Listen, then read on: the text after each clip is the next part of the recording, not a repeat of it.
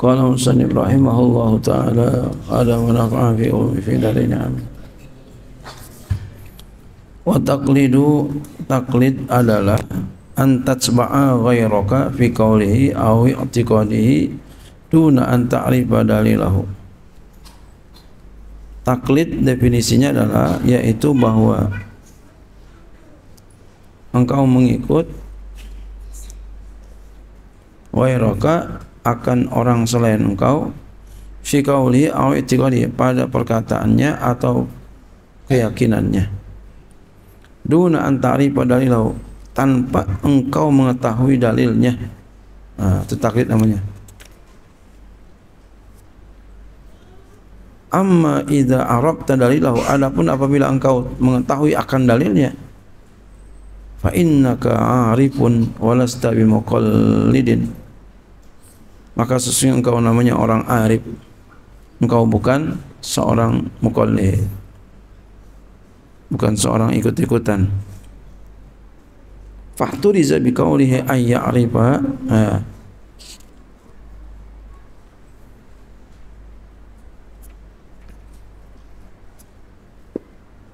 ya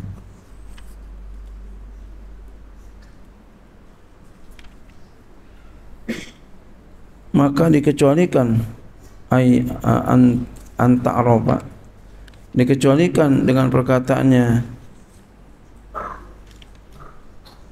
ayat riba ayat riba tadi antak ropa ya. Antak ropa dikecualikan dengan perkataan antak ropa anjami ima takodama dari sekalian apa yang terlalu antak ropa antak riba antak riba ya.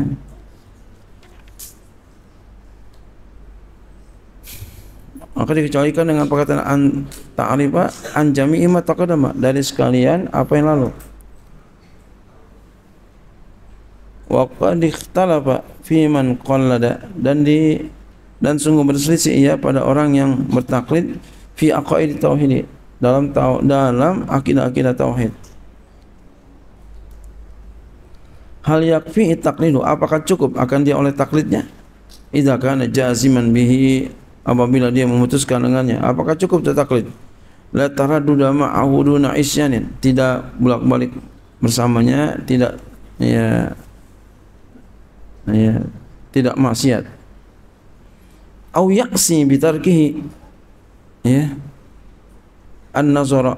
Atau maksiatnya dengan meninggalkannya akan meneliti wa ba'duhum qayyad al-isyana sebagian mereka. Qad qad uh, wa ba'duhum qayyad al-isyana sebagian mereka ulama mengkaitkan akan maksiat. Artinya orang itu bakal maksiat. Bi ayyakuna bihi ahliyatun nazari.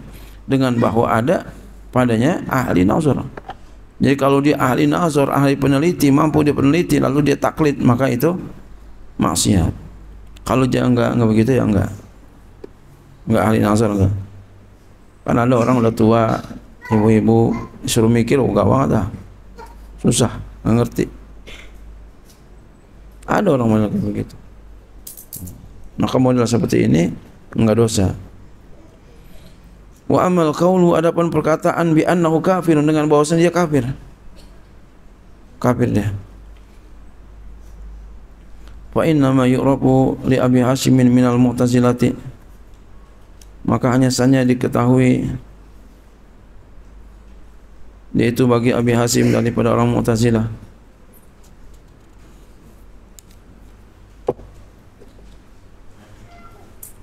Itu pendapatnya uh, orang Mu'tazilah Abi Hasim. Wa dalil matlubu minal mukallafi 'anil qa'inan bi wujubil ma'rifati huwa dalil jumali dalil yang dituntut daripada seorang mukallaf ketika di sisi orang-orang yang berkata dengan wajib ma'rifat itu namanya dalil ijmali wa huwa ma'juzu an taqlirihi wa halla subuh itu yang tidak dimampukan daripada mentakdirkannya dan ya daripada ya an taqlirihi ya wa halla subuh daripada menjelaskannya dan ya hilli subhi. An wa hilli subhi. Atau subahihi boleh. Wa ili subahi dan ya tertolaknya ya, kesubhatan. Kama sebagaimana iza qila lahu apabila katakan kepadanya a a'taqidu anna Allah mawjudun aku yakin bahwasanya Allah taala itu ada. Fa yaqulu na'am. Lalu ia berkata iya. Fa yaqulu lalu ia berkata kepadanya wa ma dalilu ala dzalika Wa ma daliluka ala dhalika? Apa dalil engkau atas demikian? Fa yakul maka dia menjawab hadhil makhluqatu ini makhluk. Ya. Wa yajizu dan lemah an kaifiyati dilalatiha daripada tata cara dalilnya. Ya, dia enggak enggak bisa. Bagaimana tu jalannya? Bi an min an daripada bosnya al iya. Apakah dia itu min jihati udusnya daripada arah? Barunya atau imkani atau mungkinnya atau huma atau kedua-duanya ma'an barang Au na'u tadi kata sumpah demikian itu. Wa an raddis subhi alladhi allati awrada al-mulhidatu min anna awrada al-alami hawadisu. La awwala la wa la dzalika min dhalali. Dan daripada menolak segala kesubhatan yang telah mendatangi akan dia oleh orang-orang yang ingkar daripada bahwasanya ya barang-barang dunia ya barang-barang alam maksudnya dunia juga itu baru tidak ada awal baginya dan sumpah menunjukkan itu daripada itu daripada kesesatan